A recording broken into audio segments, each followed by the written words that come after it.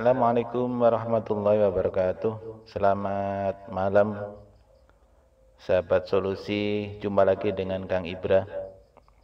Kali ini kita akan bicara tentang nasib. Bagaimana cara mengubah nasib. Pasti setiap orang pingin nasibnya berubah menjadi lebih baik. Kalau selama ini Anda tidak mudah untuk meraih sesuatu, Jawabannya karena selama ini Anda tidak masuk ke level kuantum. Anda hanya masuk ke level nyata. Anda bertahan di level nyata, Anda meyakini bahwa hidup ya memang seperti itu dan tidak bisa dirubah. Anda bertahan di kehidupan realitas Anda dan menikmati rezeki yang apa adanya. Padahal semua bisa dirubah. Rezeki bisa sangat berlimpah. Apa pun yang ada dalam benak Anda bisa terwujud. Seakan dimanja oleh Allah seperti kata kiai. Syaratnya tentu saja masuk ke dalam dunia lain yang tak tampak, dunia yang tak terlihat namun menentukan kualitas kehidupan atau nasib kita. Dalam sebuah grafik ya, terlihat bahwa nasib itu merupakan ujung dari apa yang ada dalam diri kita. Nasib tercipta karena karakter, karakter tercipta dari kebiasaan, kebiasaan adalah tindakan yang dilakukan berulang-ulang.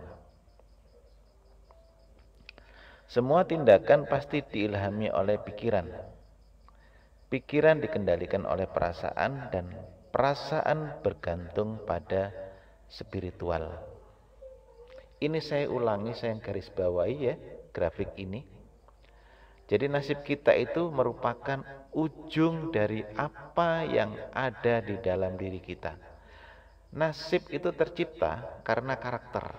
Nah, karakter ini diciptakan dari kebiasaan kita. Kebiasaan adalah tindakan yang dilakukan berulang-ulang. Semua tindakan pasti diilhami oleh pikiran.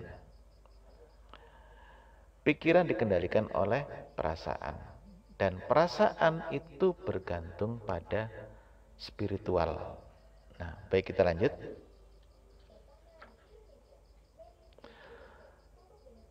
Maka artinya mengubah nasib itu bisa dilakukan tanpa terlebih dahulu harus mengubah karakter, kebiasaan, atau tindakan. Fokus saja pada dunia kuantum, yaitu pikiran. Semua tidak terlihat ini, semua tidak terlihat. Pikiran, perasaan, dan spiritual. Nah itu yang disebut dunia kuantum. Semua tak tidak terlihat. Pikiran, perasaan, dan spiritual. Ada bagian-bagian yang saya tekankan di sini saya ulang-ulang supaya kita bisa memahami. Ketika kita mampu mengubah ketiga hal tersebut, maka yang terjadi adalah perubahan nasib yang spontan.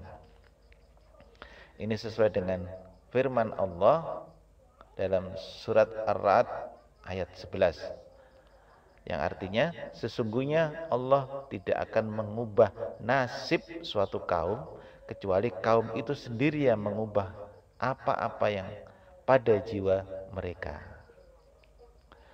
Coba kita perhatikan ayat di atas. Allah sendiri yang menggaransi ya, yang menjamin bahwa nasib itu bisa diubah menjadi jauh lebih baik. Tapi tentu ada syaratnya, yaitu ubah dulu apa yang ada di dalam jiwa kita. Itu firman Allah. Allah tidak mengatakan untuk mengubah tindakan, untuk mengubah kebiasaan atau mengubah karakter. Langsung lompat kepada jiwa. Jiwa itu tak terlihat. Itulah pikiran, perasaan, dan spiritual. Apa yang sering tertukar antara takdir dan nasib?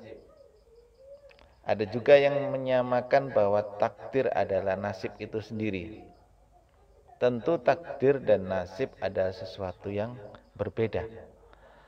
takdir itu adalah sesuatu yang tidak bisa kita akses. Takdir adalah hak Allah dan hanya Allah yang mengetahui dan mengendalikannya. Dia mengetahui takaran rezeki kita, kapan didapatkannya rezeki tersebut, bagaimana rezeki itu didapat. Allah mengetahui segalanya bahwa Dia mengetahui apakah kita masuk surga atau tidak.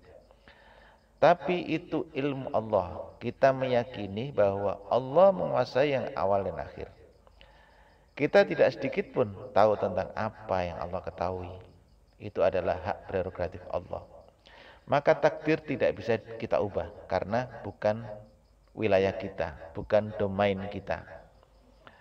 Walaupun tidak bisa disamakan logikanya bisa mirip ketika kita masuk ke sebuah perusahaan. Jadi begini, Perusahaan itu menetapkan standar operasi dan prosedur. Itu adalah perusahaan tersebut untuk menentukan apa pun. Jadi hak perusahaan tersebut untuk menentukan apa pun yang ada dalam perusahaan tersebut. Perusahaan milik sendiri, ya. Ya. Bebas melakukan apa pun karena perusahaan milik sendiri. Tapi kita sebagai karyawan perusahaan tersebut, sebagai pegawai dari perusahaan tersebut, tidak bisa sesukanya atau seenaknya mengubah ketetapan perusahaan. Jadi apa yang kita bisa?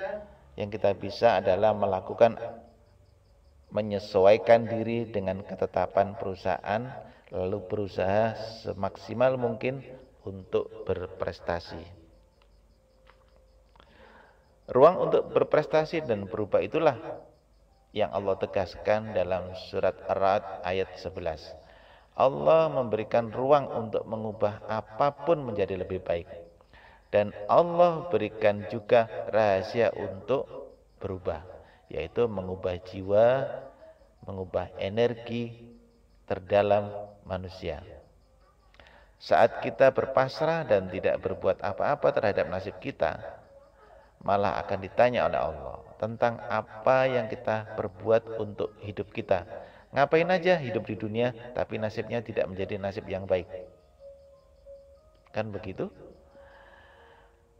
Dalam surat Al-Anbiya ayat 23 Allah berfirman, Allah tidak ditanya tentang apa yang diperbuatnya, yaitu tentang takdir, tapi merekalah manusia yang akan ditanyai. Oke, kita fokus saja menjadikan nasib kita itu lebih baik. Allah sudah buka semua ilmu untuk mengubah nasib di dalam kitabnya, Al-Quran. Tinggal bagaimana kita memaksimalkan potensi yang sudah Allah berikan. Semoga ke depan dalam pembicaraan kita selanjutnya kita bisa menemani Anda mengubah nasib menjadi jauh lebih baik dengan memaksimalkan kekuatan pikiran, perasaan dan spiritual. Baiklah, jangan lupa like, share, dan komen serta tekan tombol subscribe. Baik, sampai jumpa pada pertemuan selanjutnya. Assalamualaikum warahmatullahi wabarakatuh.